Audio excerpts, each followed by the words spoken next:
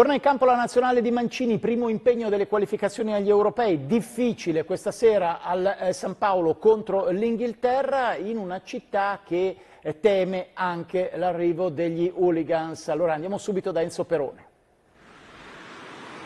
Sì, eccoci appunto, lo dicevate, massima allerta per la partita di questa sera Napoli-Inghilterra, sono attesi 2500 tifosi appunto inglesi che invaderanno la città e noi ci auguriamo pacificamente dopo gli scontri eh, con l'Eintracht Francoforte, li ricordiamo, una città messa a ferro e a fuoco, una guerriglia urbana, anche se poi, come ha detto il prefetto nella conferenza stampa, si è riusciti a non far incontrare le due tifoserie o le frange violente delle due tifoserie, perché sarebbe potuto succedere qualcosa di molto peggiore. Antonio De Iesu, assessore alla legalità, è stato questore di Napoli, vice capo della polizia, qual è il dispositivo? Oggi massima allerta per evitare che ci siano incidenti.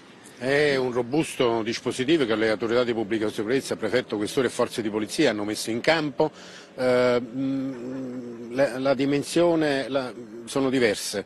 Eh, questo sarà una giornata, una bella giornata di, eh, di sport, eh, non, io ritengo, anche se ne sono certo, eh, non ci saranno turbulenze dal punto di vista dell'ordine pubblico, è stata individuata una, eh, una eh, fan zone all'interno della stazione marittima, ci sono 18 pullman che abbiamo messo a disposizione insieme all'EAV e all'ANM eh, e lì saranno, eh, i tifosi saranno portati in sicurezza allo stadio. Mm, sono certo eh, che eh, sarà una giornata di sport, una giornata in cui i tifosi inglesi eh, saranno qui e godranno le bellezze di questa meravigliosa città, eh, la vivranno in serenità, eh, senza turbulenze dal punto di vista dell'ordine pubblico. Grazie Assessore De Iesu, da Napoli è tutto, linea studio.